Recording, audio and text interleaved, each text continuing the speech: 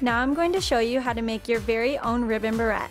To begin, all you need is a barrette and two ribbons using your favorite colors. To begin, open the barrette and place it in the holder.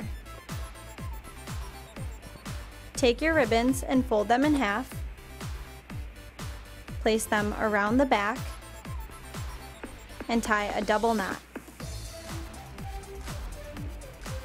under the barrette.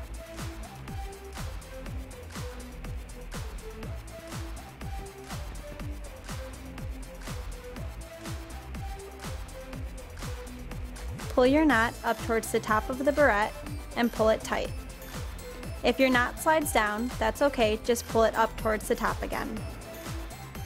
Now when lining up your ribbons, the same color should be on one L and one R.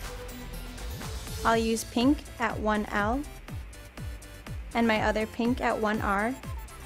And I'll use blue at 2L and 2R so they're the same color. To begin your ribbon barrette, pick up the ribbon and one L and weave it through the center of your barrette.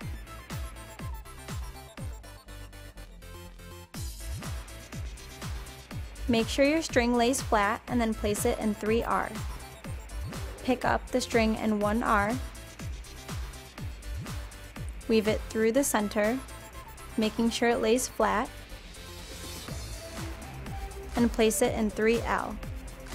Next, move to 2L, pick up your blue ribbon, weave it through the center of your barrette,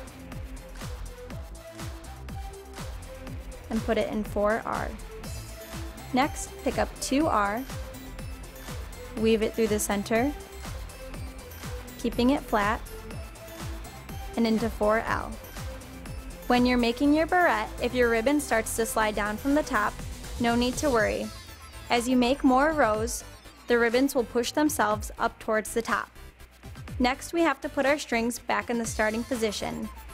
Move your pink string in 3L back to 1L and from 4L to 2L, and the same for the other side.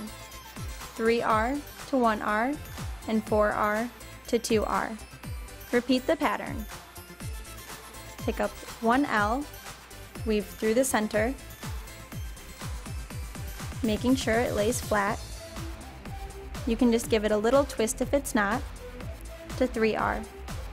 Pick up 1R, through the center, to 3L. Move on to 2L, through the center to 4R, pick up 2R and go back through the center to 4L. Sometimes you can just push your ribbon back up towards the top and then simply pull the ribbons tighter. Keep repeating this pattern until your ribbon barrette is full.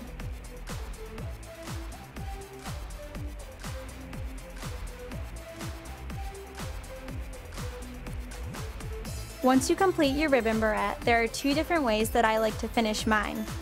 You can take your ribbons out, tie a double knot,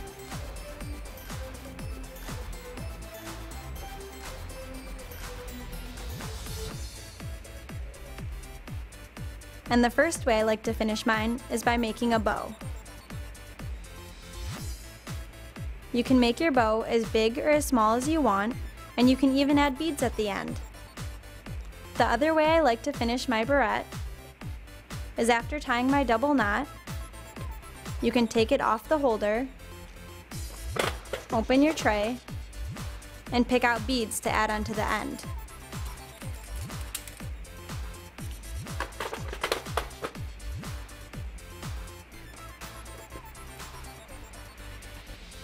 To make it easier, use scissors to cut the end of your ribbons until they look like a point. And then this makes it easier to slide the ribbon through the beads. Add as many beads as you want, and then you can tie a knot to hold them into place. You can use your favorite colors, holiday colors, or even your school colors to show school spirit.